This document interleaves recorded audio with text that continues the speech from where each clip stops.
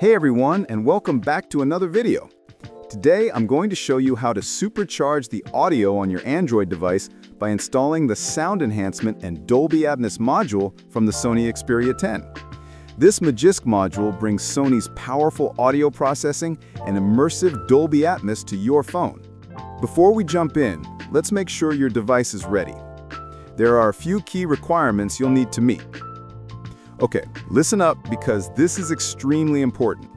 There is a possibility of a boot loop, a soft brick, or a service failure, especially if you're using a read-only ROM and plan to activate the Dolby Atmos feature. To avoid these issues, it is strongly recommended that you use Magisk Delta or Kitsune Mask. This is a critical step for a safe installation on certain system setups.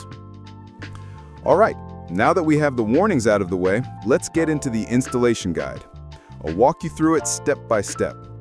Remember, all the download links for the files I mentioned will be in the video description below. Cleanup. If you have any other Dolby Magisk modules installed, you need to remove them first. The only exception is if you're updating this exact same module. In that case, you don't need to remove the old one. Once you've removed any conflicting modules, go ahead and reboot your phone. For users with inbuilt Dolby, this is a special step for those whose ROM already came with some form of Dolby pre-installed. Install the module.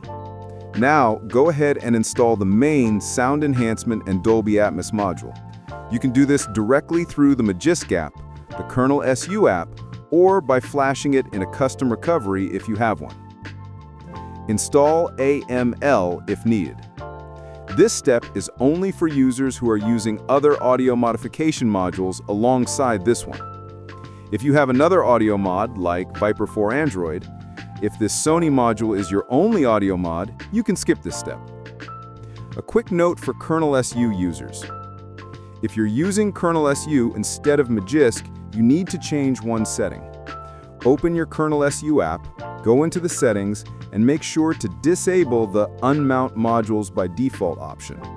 This is required for the module to work correctly after a reboot. Final reboot. Once you've completed all the necessary steps, the final thing to do is reboot your phone. And that's it. After your phone boots back up, the Sony Sound Enhancement and Dolby Atmos features should be active. You can check your app drawer for a Dolby Atmos app or look for new sound settings in your system's audio section. I hope this guide was helpful.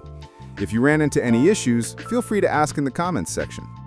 All the necessary download links are waiting for you in the video description below.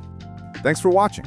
If you liked this video, please give it a thumbs up. And if you want to see more content like this, make sure to subscribe to the channel. I'll see you all in the next video.